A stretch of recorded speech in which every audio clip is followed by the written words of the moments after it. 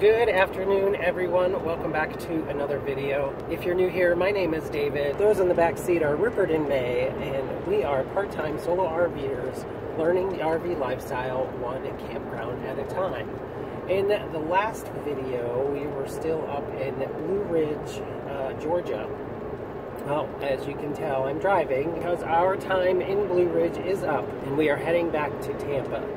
Right now, we are 21 miles from our stop where we're going to be spending the night. It's about halfway between Blue Ridge and Tampa, and it's a place called Cordell, Georgia.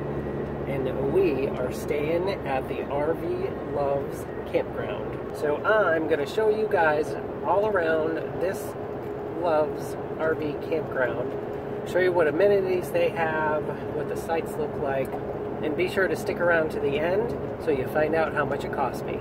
In two miles, take exit 102 for Georgia 257 toward Cordele, Hawkinsville. I'm going 75 south, and it's exit 102 is the RV Loves, and there's a little sign right here. Camping RV hookup at the Loves, exit 102 southbound on I-75. And here we are. I'm not really quite sure what I'm supposed to do, but I see a little kiosk here, so let's go take a look at that.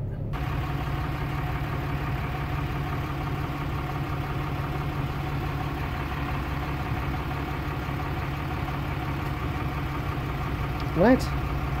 Alright, so we're going to do this on my phone. It's a little keypad that you need to enter um, the park and it comes in your email. And then here's the little kiosk that did not work for me, but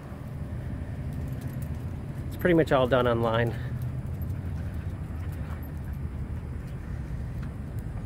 There's our site right there, a nice easy pull through.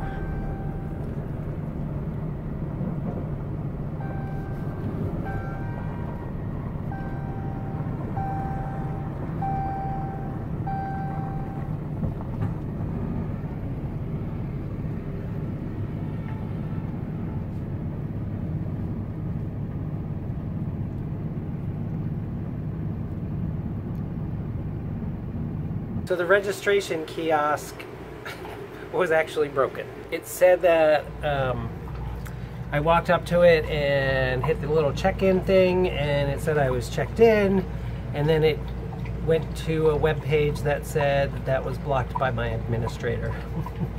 I thought that was kind of funny. Anywho, we are set up. The air's going. It was 98 degrees in here when I opened it up, so the air's got a lot of catching up to do. I went over to the Love's gas station and filled the truck up, so I'm ready for tomorrow. But let's go take a look at this campsite. So that's the entrance right over there. The gate opens and you come through. You get a gate code in your email. And then I got site 37 right on the end. It's a long level concrete pad and we've got water, sewer, which I haven't hooked up yet, and then the pedestal is 30, 50, 20 amp up there, and your breakers are actually up on the top there. This is a marine pedestal, it looks like. Oh, yeah, marina power and lighting. Nobody next door, but there I am, all set up for the night. I can, I can already hear a train in the distance. That should be fun. And there's a fence over here that kind of is blocking the sound from the trucks. We'll see what it's like, obviously, tonight when all the truckers come in. But, you know, it's a gas station. It's a, you know, commercial gas station. Goes all the way down. These are all pull-throughs.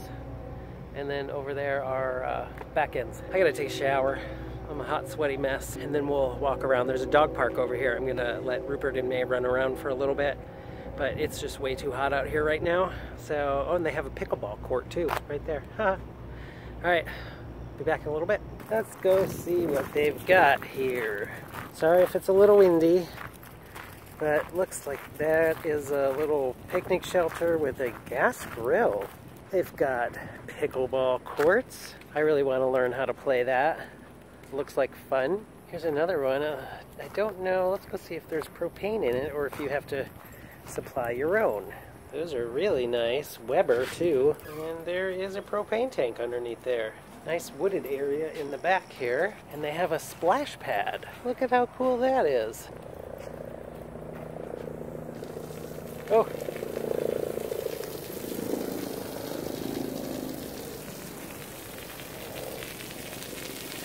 These back end sites actually have a little uh, fire pit on them. That's pretty cool. Here's your entrance right there. You can walk over to the Loves by just going out right um, there to the left. This is what we wanted, the doggy park. The grounds are well maintained as well. I mean, if this wasn't at a gas station, this would be an awesome campground just by itself. Yay! Good boy! You finally got the ball.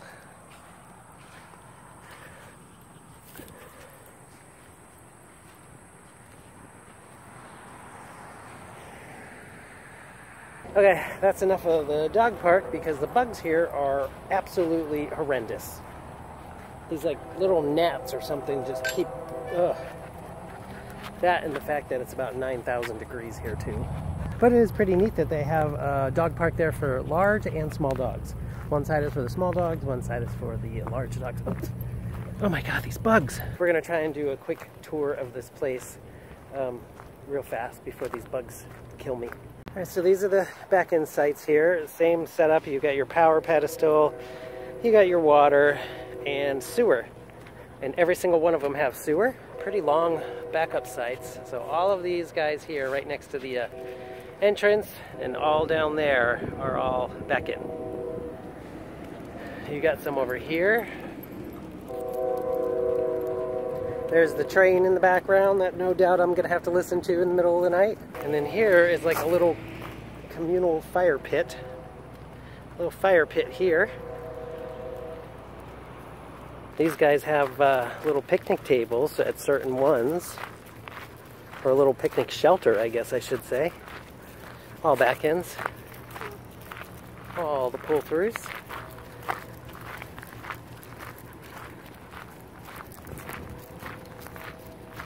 See some street lights. Be curious to see how bright it is at night. So it looks like you get a picnic table or a picnic shelter. There's a trash bin there, and there's one at the other end by my site. Two straight little back ends there. That's where you exit, and it takes you out the same exit that the truckers go when they're leaving the Love's truck stop. Go around the loop. Oh my god, these bugs. Let me just tell you, these bugs are absolutely horrible here. These little tiny gnats. I gotta hurry up and get back. And the front side.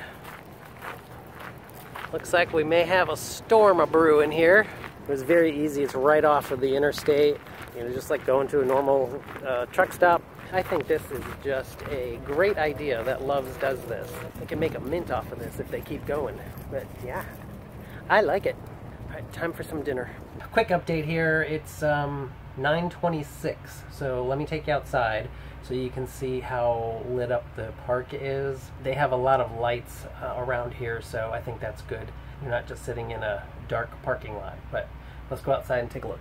This is right outside my site, and you can see it's, you know, they've got lights everywhere here. So let's walk this way. There's somebody working on their camper two sites over from me, so we'll go this way.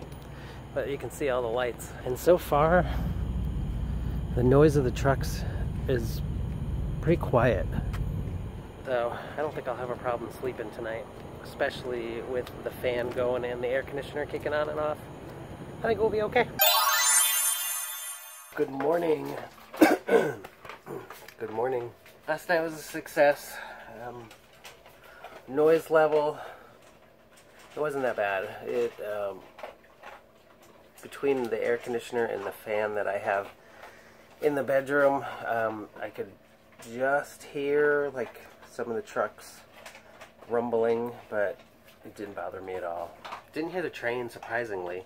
Heard the train the entire time that we were here, you know, yesterday during the day, but didn't hear it once at night, so that's good. And somebody pulled into the spot right next to me, and I didn't hear them at all. So, so yeah, RV stop at Love's. Definitely put it on your list of potential overnight spots. And I mean, technically, I guess you could stay here longer if you really wanted to. But I will keep these guys in the back of my mind. But right now, coffee. Then we gotta pack up and hit the road. We got like four hours today. Well, we are all hitched up here at the RV stop at Love's in Cordell, Georgia. What did I think? I think more truck stops should do something like this. This was awesome for an overnighter. Eh, Wasn't loud or anything like that. It's easy to get into, it's easy to get out of, and it's definitely something that you should put on your list of possible places to stay for overnighters.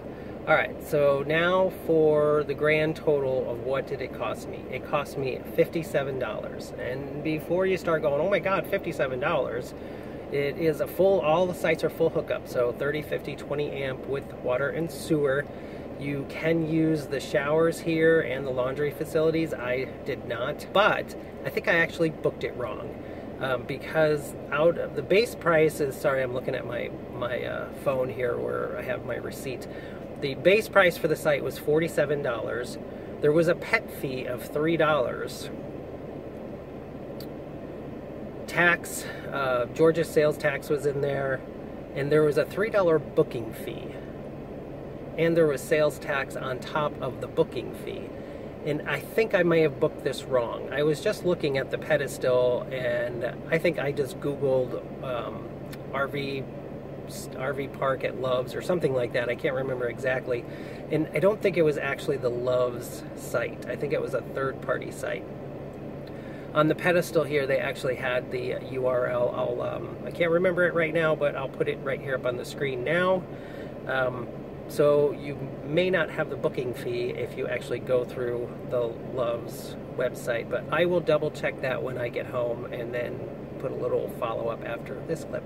All right, so I did check into the website, and actually I was correct. That website that I put up on the screen, the lovesrvstops.com, actually redirects you to another site, which is the one that I thought was the third-party site. So it was the correct site, so unfortunately you are going to have the booking fee and the pet fees if you do have uh, pets with you. Again, it didn't change my opinion. I would definitely stay there again. Now let's finish the video. So I think that's going to do it for this video. We're hitched up, like I just said.